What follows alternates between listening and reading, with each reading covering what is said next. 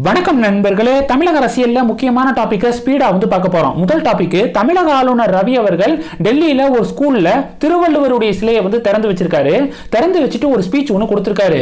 இந்த ஸ்பீச்சுக்கு திமுகவுடைய அமைச்சர் மனோ தங்கராஜ் அவர்கள் எதிர்ப்பு வந்து தெரிவிச்சிருக்காரு. ஆளுநர் வந்து விரக்தியில வந்து பேசுறாரு அப்படின்னு விமர்சனம் வந்து பண்ணியிருக்காரு. காங்கிரஸ்ல முக்கியமான நிர்வாகியாக இருக்கக்கூடிய கரூர் பாராளுமன்ற உறுப்பினராக இருக்கக்கூடிய ஜோதிமணி அவர்களும் எதிர்ப்பு வந்து தெரிவிச்சிருக்காங்க. பாஜக என்ன சொல்றாங்க அப்படின்னா அப்படி கவர்னர் என்ன தப்பா பேசிட்டாரு கரெக்டாக தான் பேசுறாரு அப்படின்னு சொல்லிட்டு பாஜக ஆதரவு வந்து தெரிவிச்சிருக்காங்க. என்ன பிரச்சனை? அப்படி கவர்னர் என்னதான் பேசினாரு அப்படிங்கிறத நம்ம டீட்டெயிலாக வந்து பார்க்கலாம். அந்த நிகழ்ச்சியில் கவர்னர் என்ன பேசியிருக்காரு அப்படின்னா திருக்குறள் இருக்கு பார்த்தீங்களா முதல்ல திருவள்ளுவர் வந்து ஒரு ஆன்மீகவாதி. ஜி யு போப் இருக்காருல்ல திருக்குறளை ஆங்கிலத்தில் மொழிபெயர்த்தவர் தான் ஜி யு போப்பு. அவர் வந்து ஒரு மிஷனரி அப்படின்னு கவர்னர் சொன்னதாக சில செய்திகள் வந்து வெளிவந்திருக்கு. அடுத்து என்ன சொல்லியிருக்காரு அப்படின்னா ஜி யு போப் வந்து திருக்குறளை ஆங்கிலத்தில் வந்து மொழிபெயர்க்கும் போது திருக்குறள் திருக்குறளுடைய ஆன்மாவாக இருக்கக்கூடிய பக்தி ஆன்மீக கருத்துக்களை திட்டமிட்டு மறைச்சிருக்காரு அப்படிங்கிற குற்றச்சாட்டை வந்து முன் வச்சிருக்காரு ஜியு போப்பு திருக்குறளை ஆங்கிலத்தில் வந்து மொழிபெயர்க்கும் போது பக்தி ஆன்மீக கருத்துக்களை மறைச்சிட்டாரு அப்படிங்கிறது தான் ஆளுநருடைய கருத்தா வந்து இருந்திருக்கு.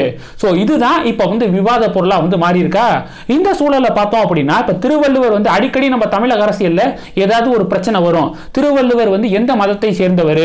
திருவள்ளுவருடைய சிலைக்கு வந்து காவி பெயிண்ட் வந்து அடிக்கப்பட்டிருக்கு. திருவள்ளுவருடைய சிலைக்கு வந்து காவி ட்ரெஸ் வந்து திருவள்ளுவர் வந்து போட்ட மாதிரி புகைப்படங்கள் இருக்கு அப்படின்னு சொல்லிட்டு விவாதம் வந்து நடக்கும். குறிப்பா பாஜக திமுக இடையே அந்த விவாதம் ரொம்ப ஃபேமஸான விவாதம். இந்த சூழல்ல நம்ம முக்கியமா சில ஃபேக்டை வந்து பார்க்க போறோம். என்ன ஃபேக்ட் திருவள்ளுவர் எந்த மதத்தை சேர்ந்தவர்? திருக்குறள் எந்த சமய நூல் அப்படிங்கிறது யாருக்கும் இது வரைக்கும் தெரியாது. எதுக்குமே வந்து ப்ரூஃப் வந்து கிடையாது. ஆனா இதெல்லாம் இருக்கிறதுக்கு வாய்ப்பு இருக்கு. திருவள்ளுவர் இந்த மதத்தை சேர்ந்தவரா இருக்கிறதுக்கு வாய்ப்பு இருக்கு அப்படின்னு சில கணிப்புகளை வந்து நம்மளால கணிக்க முடியும் முடியும். திருவள்ளுவர் எழுதின நூத்தி முப்பத்தி மூணு அதிகாரங்கள் ஆயிரத்தி முன்னூத்தி முப்பது குரல்களை ஒரு தடவை வாசிச்சு பார்த்தோம் அப்படின்னா ஓரளவு சில விஷயங்களை நம்மளால கணிக்க முடியுது. உறுதியா திட்டமிட்டு சொல்ல முடியல ஆனா கணிக்க முடியுது.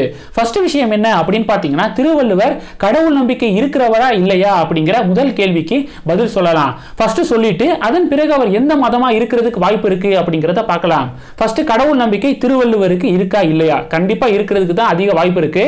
ஏன்னா நூத்தி முப்பத்தி மூணு அதிகாரத்துல முதல் அதிகாரம் அதிகாரமாக அவர் வந்து கடவுள் வாழ்த்து அப்படிங்கிற அதிகாரத்தை தான் படைச்சிருக்காரு. அந்த கடவுள் வாழ்த்து அப்படிங்கிற அதிகாரத்தில் பத்து குரல்களை வந்து எழுதியிருக்காரு. ஃபர்ஸ்ட் எடுத்தோன்னே நம்ம வந்து ஒரு செயலை வந்து ஆரம்பிக்கிறோம் அப்படின்னா கடவுளை வணங்கிட்டு அந்த செயலை ஆரம்பிக்கிறது அப்படிங்கிறது நம்மளுடைய பழக்கம். அதை தான் திருவள்ளுவரும் பண்ணியிருக்காரு. திருக்குறளை வந்து எழுதும்போது கடவுள் வாழ்த்தை எழுதிட்டு தான் அடுத்த அதிகாரங்களை எழுதியிருக்காரு அப்படிங்கிறது நம்ம ஓரளவு பார்க்கும்போது தெரியுது. அப்போ திருவள்ளுவர் கடவுள் நம்பிக்கை இருக்கிறவர்.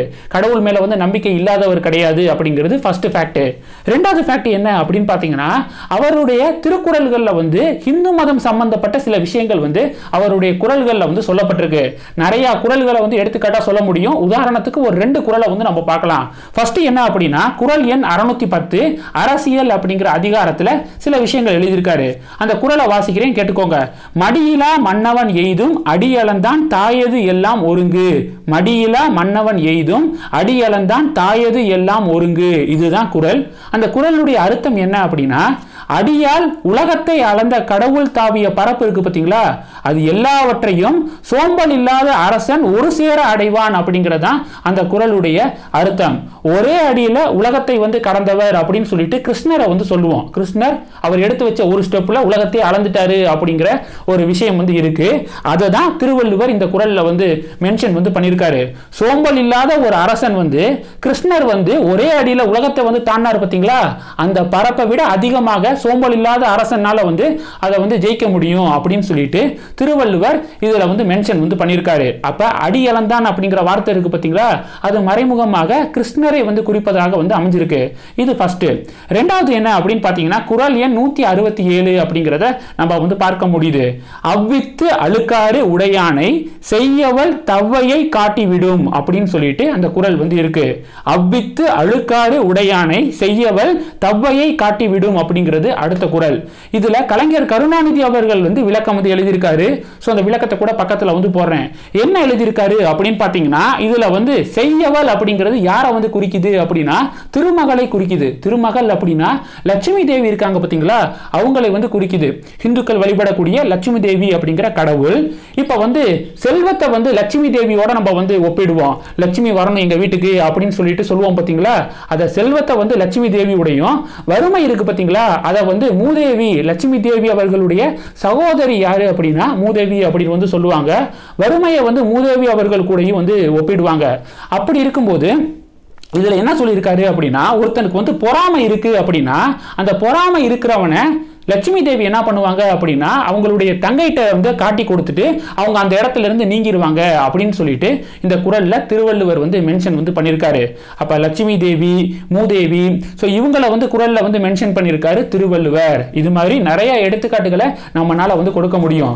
அப்போ ஃபஸ்ட்டு திருவள்ளுவர் வந்து கடவுள் நம்பிக்கை இருக்கிறவர்.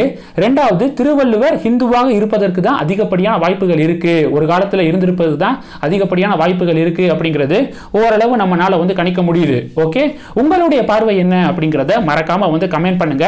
இப்போ ஒரு பக்கம் வந்து பார்த்தோம் அப்படின்னா திமுக பாஜக இடையே இந்த டாபிக்ல ஆளுநர் பேசுனது சரியா இல்லையா அப்படின்னு சொல்லிட்டு மிகப்பெரிய மோதல் வந்து வெடிச்சிருக்கு. ஸோ இந்த வீடியோ பற்றி உங்களுடைய பார்வையை மறக்காம கமெண்ட் பண்ணுங்க. நன்றி. ஜெய்ஹிந்த்.